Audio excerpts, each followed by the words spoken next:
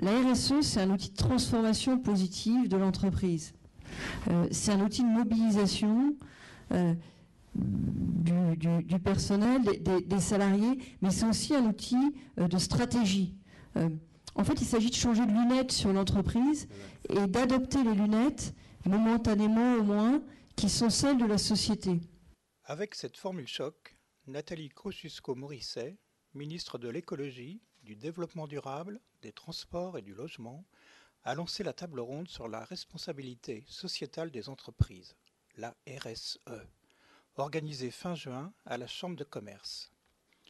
Philippe Rabot, directeur général de RCSI, un fabricant de produits de nettoyage écolabellisés, a témoigné de son expérience.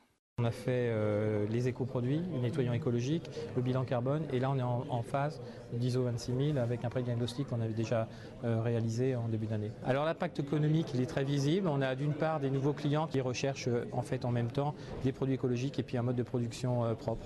On augmente notre chiffre d'affaires puisqu'il a augmenté cette année de 15% et puis on a surtout une capacité à évoluer en clôture de la table ronde, Olivier Perrat, directeur général AFNOR, l'Association française de normalisation, a remis officiellement à la CCI Essonne son attestation d'évaluation AFAC 26000, le label de la responsabilité sociétale.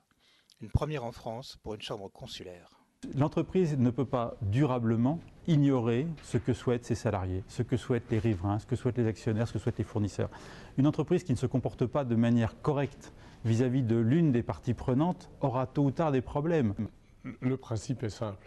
il faut d'abord s'appliquer à soi-même et euh, le directeur euh, général de l'AFNOR, Olivier Perrat, le rappelait euh, tout à l'heure. bien évidemment, il faut qu'on soit en même temps dans l'exemplarité.